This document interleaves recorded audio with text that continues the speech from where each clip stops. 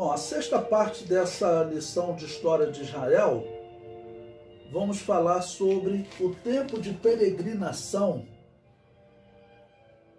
nesse período que eles vão estar no deserto. O comentário diz: Logo após a Páscoa e a praga dos primogênitos, os israelitas partiram do Egito. Eles saíram ricos em ouro, prata e roupa, que os egípcios deram, né?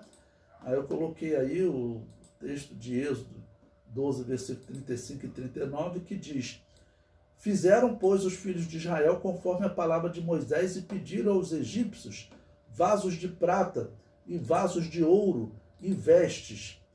E cozeram bolos, asmos da massa que levaram do Egito, porque não se tinham levedado, porquanto foram lançados do Egito. Ou seja, interessante esse vídeo dizer: sai daqui que vocês estão criando muito problema.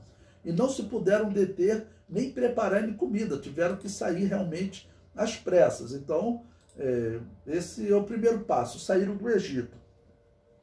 Este período entre o êxodo e a conquista de Canaã inicia-se com a saída de Israel do Egito, tá bom? Então, começa a contar.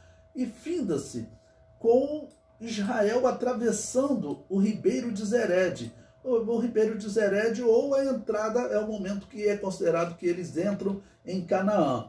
Bom, como é, Quanto tempo durou então até eles atravessarem esse ribeiro e entrarem em Canaã? Em Números 21, 12 diz: Dali partiram e alojaram-se junto ao ribeiro de Zered.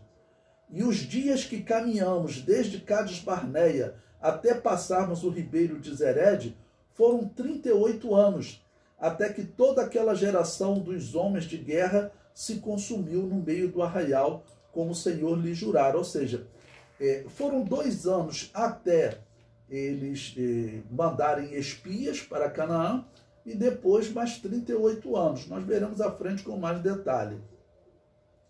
Veja, os israelitas saíram do Egito no mês de Abi. Está lá em Êxodo 3,4. Três meses depois chegaram no deserto do Sinai. Três meses. Está em Êxodo 9,1. Um ano e um mês depois, levantaram o tabernáculo. Um ano e um mês depois. Está em Êxodo 40. Dois anos depois, Deus os exortou a celebrarem a Páscoa. E logo depois partiram do Sinai. Então, eles celebraram a Páscoa em Números 9 e logo depois partiram do Sinai.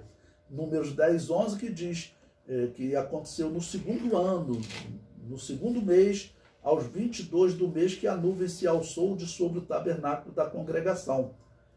E após espiar a terra, todos estavam em Cádiz, ou seja, depois de Cádiz, eles vão passar então mais 38 anos, ok?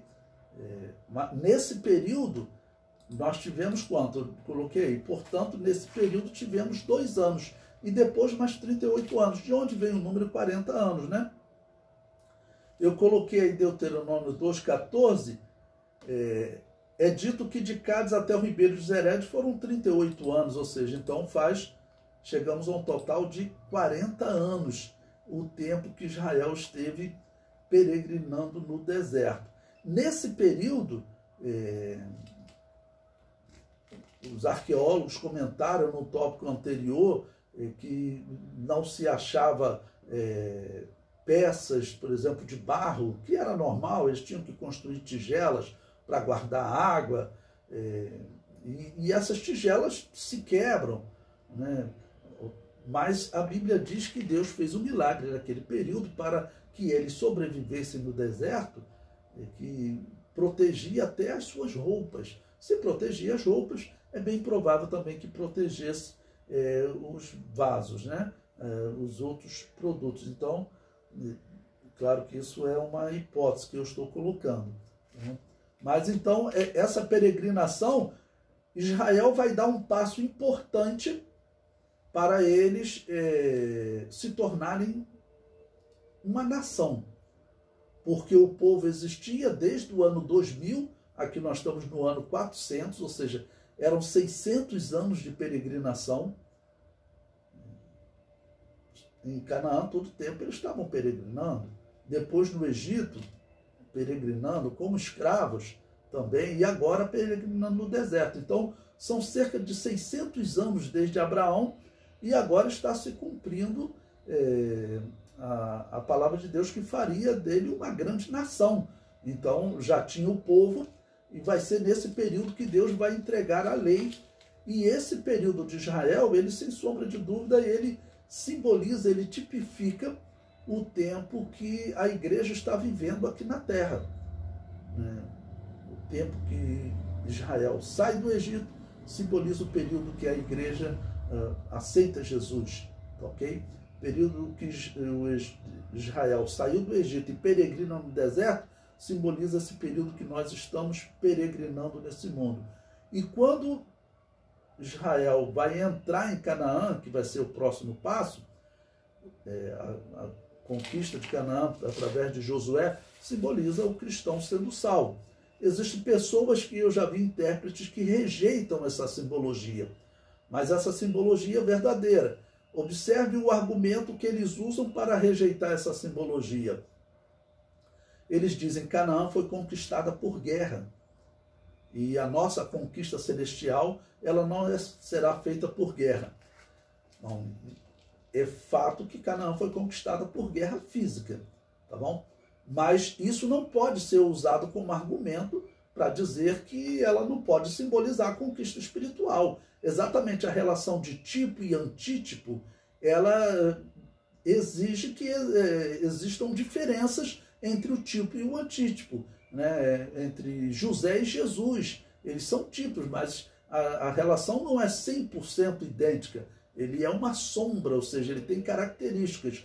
E o segundo ponto a observar é que a cidade de Jerusalém foi conquistada por guerra, Davi a conquistou através de uma guerra, e não existe dúvida que o Apocalipse chama a nossa conquista celestial de Jerusalém, a nova Jerusalém. Então, a conquista de Jerusalém aqui na terra, ela é um tipo da conquista celestial que foi feita por guerra. Então, o fato de Josué ter usado a guerra, claro, naquela época era o único meio.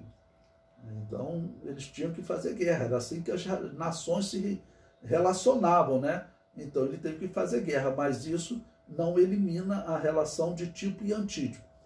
E nesse período também eu vejo uma evidência, até numa simbologia um pouco triste, mas uma evidência de que esse período de Israel tipifica o período que a igreja está vivendo hoje. Por quê? Porque nesse período, Moisés, ele é uma figura interessante. Moisés tem determinado momento que ele simboliza é, Jesus, porque ele sobe ao monte, está com Deus, e então ele simboliza Jesus hoje, que está à direita de Deus. É... E o que ocorre? momento em que Moisés sobe, está no monte para receber os dez mandamentos, o que acontece na terra com o líder religioso que ele deixou?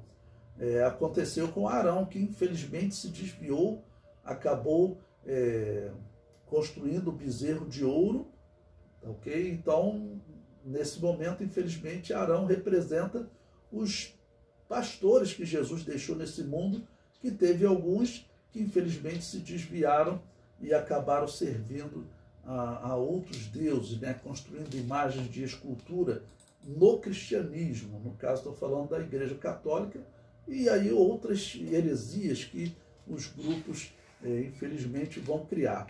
Ok? Então, esse período de 40 anos que eles peregrinam no deserto é também a terceira fase da vida de Moisés é, em que é dito que ele viveu 40 anos no Egito, sendo preparado para ser o novo faraó. Depois passou 40 anos é, fugido em Midian e agora vai passar 40 anos peregrinando com Israel no Egito.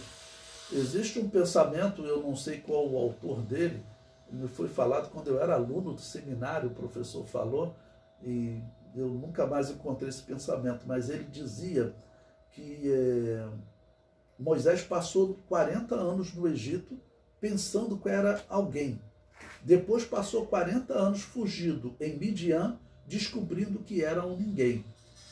Que depois passou 40 anos é, realizando o êxodo e peregrinando no deserto, aprendendo que Deus é, usa aquele que se considera até um ninguém, Deus pode usá-lo como grande profeta que Moisés foi. Né?